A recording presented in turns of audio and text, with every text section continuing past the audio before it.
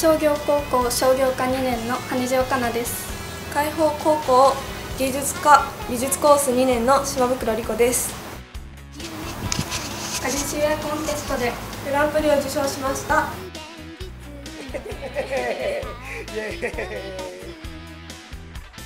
家庭科の授業で課題として出たものをそのまま応募しようと思いました。学年全体で応募したものです。学生でも着られるような親しみやすい柄ってイメージしてこんな感じのデザインしました。夏休みの宿題として出てるので1ヶ月とかそのぐらいです。真っ白い状態の形だけのかりゆしウェアの紙が配られてそこに一から考えていく感じです。手書きです。提出ギリギリまで かかったんですけど納得のいくものができたかなって先生が授業の中でこのクラスで受賞した人が1人いますっていう感じで発表がありました。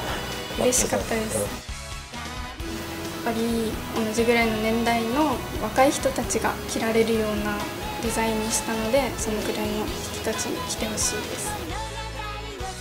趣味としてこういうデザインとかもやりたいんですけどこういうのも続けながら自分は就職になると思うのでその道を頑張っていきたいです。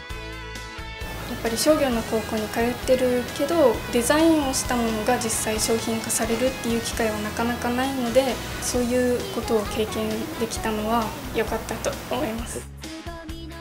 コースの授業内でコンテストがあるということを知って授業の課題の中でコンテストに向けて制作しました。戦後の沖縄の復興の象徴ともいえるカンカラ三振がすごく大好きで沖縄らしさも出る顆粒シェアの中でカンカラ三振をモチーフにして沖縄の好きなところを伝えていけたらなと思って制作しました。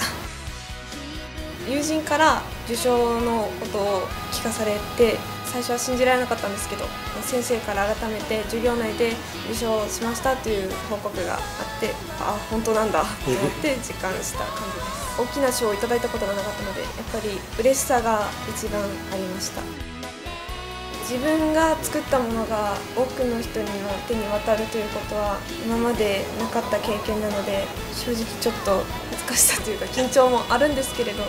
着るものとして作ったからには多くの人に来てもらえる機会が与えられてすごく光栄なことですしこれからまたこれをカリューシアを着て多くの人が気持ちよく働いていけたらなと思っ